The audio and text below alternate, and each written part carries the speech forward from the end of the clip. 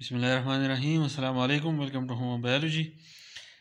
کلاس 9 بایولوژي دا اخري ټاپک دی په دې کې موږ نن وایو وینس سیستم دا وینس چې دی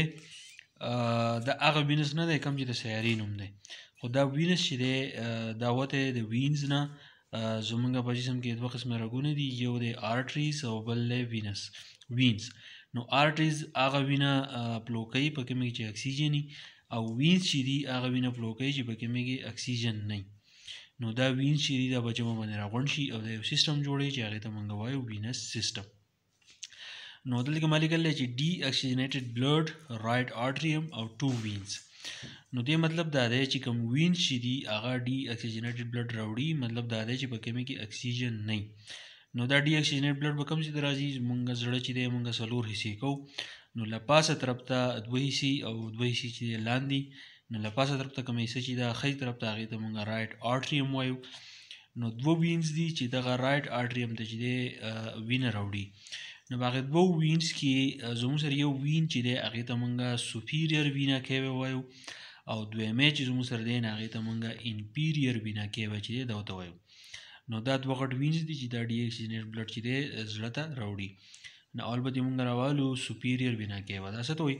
فارمډ بای یونین اف مینی پیر اف وینز نو چې کله ډیر شي وینز راغون شي نه غزوم سر سپیره وینا کوي چې د جوړې لکه په دې کې زموږ سره هډ سر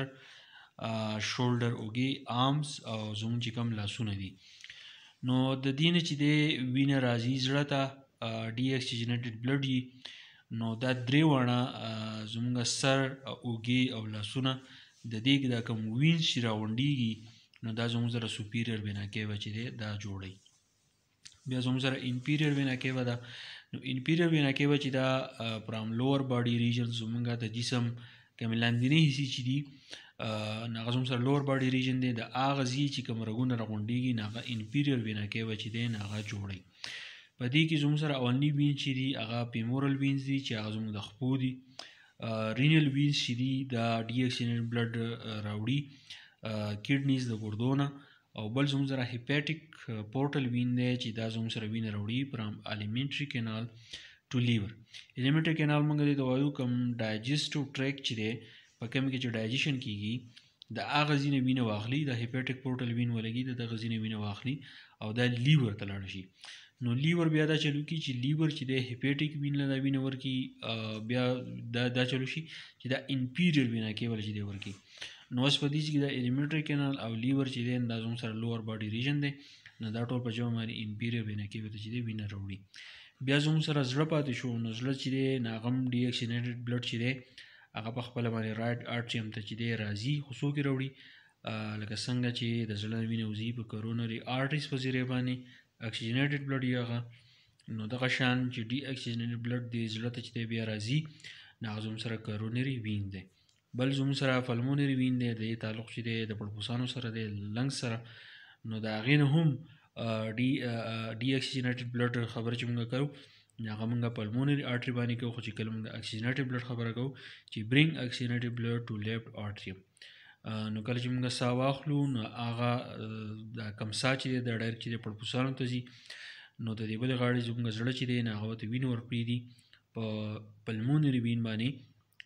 نو برینګ اکسیجنیټډ بلډ ټو لیفټ آرټریم نو پلمونري ارټري دا چل وکړي چې وینې ویسي زړه ته او پلمونري وین دا چل وکړي چې دغه اکسیجنیټډ بلډ چې دی دا راوړي د زړه چې کوم رایټ ارټریم له پاسه چې کومې دوی حصې دي ګس طرف ته چې کومې حصه ده نو هغې ته موږ وایو لیفټ ارټریم نو په دې طریقه باندې دا ټول وینز چې دی دا زموږ سره راغونډېږي او ډي اکسیجنیټډ بلډ سره چې دی د دوی کار خو په دې کې صرف د یاد ساتئ چې دوه وینز چې دي یا زموږ سره غټ غټ یو زموږ سره سوپیریر وینا کیوا دی او بل زموږ سره چې دی انپیریر وینا کیوا نو د ډي اکسینیټډ بلډ چې دی ټول د دوی سره نو دا و وینس سیستم بالکل آسان دی څه پکې نشته لنګ کوېشن کې چې راځي د جوس په شکل باندې راځي په دې پسې بیا ورپسې لیکچر چې دی انشاءالله بیا وکړو تھینک یو